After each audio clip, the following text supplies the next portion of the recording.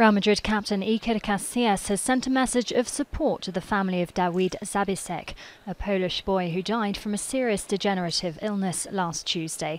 The Whites number one was interviewed by a Polish television station after having met Dawid while on international duty with Spain at Euro 2012 this summer. Reiterarme una vez más dándome, dándole el pésame a, a la familia Firstly, I'd like to pass on my condolences to the family again. May Dawid rest in peace. I had the opportunity to be with him and his family at the last European Championship in Poland and Ukraine. I was there at the same time as him in Gniewino for a couple of days, and he was a person so full of life and so happy to meet the Spanish national team. He had his photo taken with all the players, and his parents, family, and friends were all so happy, and everyone got on really well. We have the great luck to be professional football players who are admired by people all over the world.